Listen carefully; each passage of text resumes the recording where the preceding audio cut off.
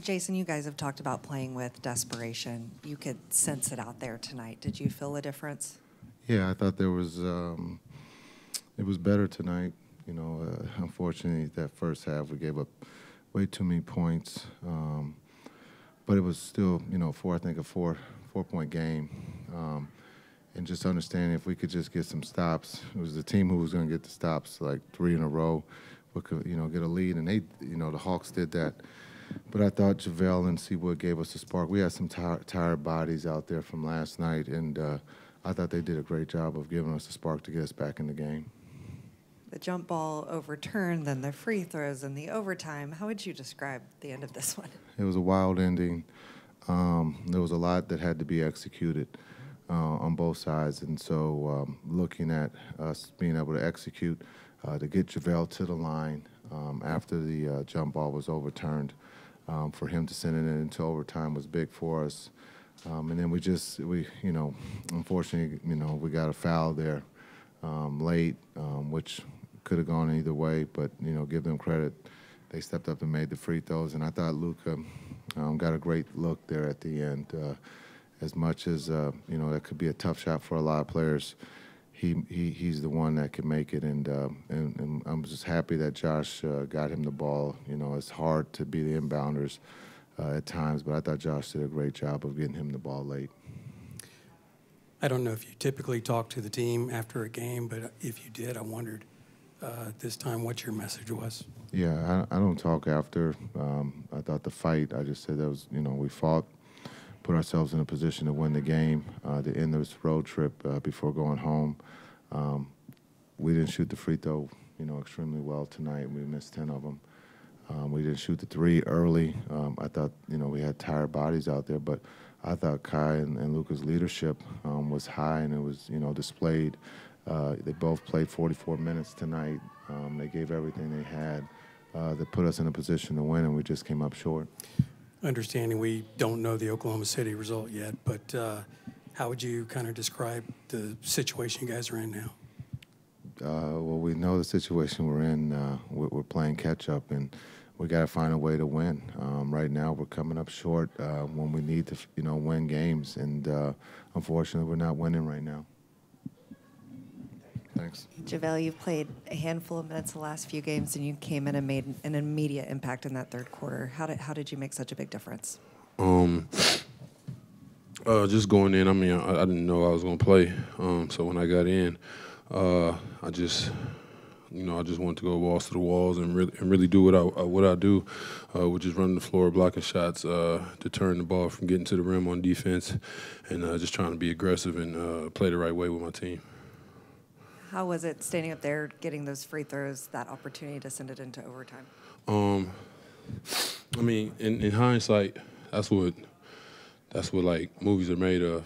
You know what I'm saying? Not playing the whole season, then coming down to you hitting those two free throws for the win. Um, but unfortunately, I missed one of them. But we went in overtime. But yeah, that movie's going straight to DVD. That's not coming out. JaVale, how would you describe the, the feeling in the locker room? Because I saw when you guys came out before the game, you huddled up, uh, looked like a really fired up team, and you were a big impetus for that.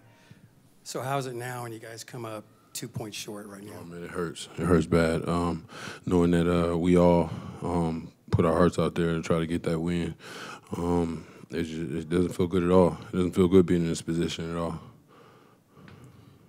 we don't know the Oklahoma City result yet. They're still playing. How would you describe kind of where you guys stand right now in relation uh, to? We trying to stay focused. We trying to stay together. Um, we trying to go out there and uh, get every win we can um, and get, get get our streak on the winning side uh, so we can make that play in. Uh, Kyrie, uh, first about the foul. It was pretty clear you didn't think you committed a foul. Can you kind of explain what you saw on the play or what happened? Yeah, it was that last play was supposed to be a turnover or an offensive foul on them. Um, I was headed the other way. I know those uh, or the refs tonight. They're going to look back on it. I don't think they're going to be too happy with that call, um, but it could have gone either way. Uh, I thought I was was in great position, um, but that foul cost us the game practically. You got you clearly came out with an offensive, uh, with an aggressive mindset on offense. Uh, Did you, did you feel like you guys were kind of playing with your backs against the wall today? Is that- I mean, every game, every game's pretty much been our backs against the wall type of mentality, uh, playing with a sense of desperation.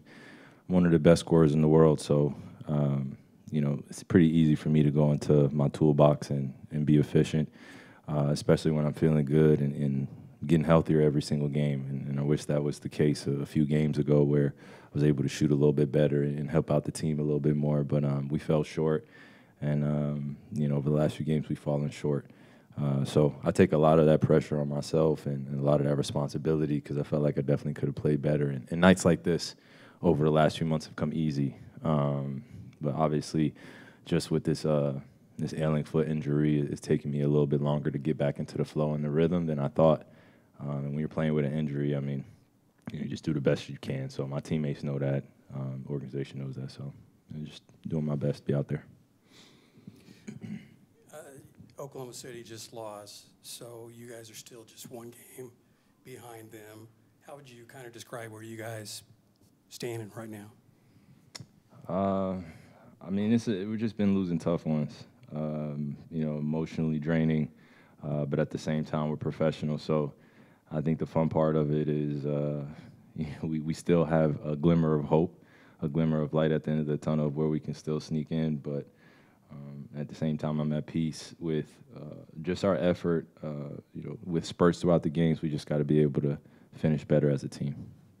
Uh, JaVale and Christian Woods spent a lot of time on the floor together in the second half. Mhm. What were your thoughts on the impact that uh, each of those guys uh, provided today? Yeah, the the paint was crowded when they were in the game, and um, you know made the guards on the other team, Dejounte and Trae, think twice about going in a few times. I feel like we, excuse me, we got some great contests, and uh, we were just playing good on ball defense, and our switching was pretty good in that in that final two frames. Um, so I, I feel like if we play with that effort every single night, with that defensive uh, focus, um, you know, we, we can win more ball games.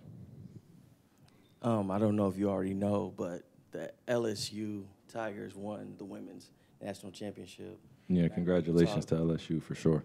And I know you talked to a few young ladies who were in the tournament. Mhm. Um, and I know we've all talked about how important it is not only to educate but to encourage. hmm Um, why is that important to you to make sure not just like young ladies, but that the game is always set, Yeah, I, forward?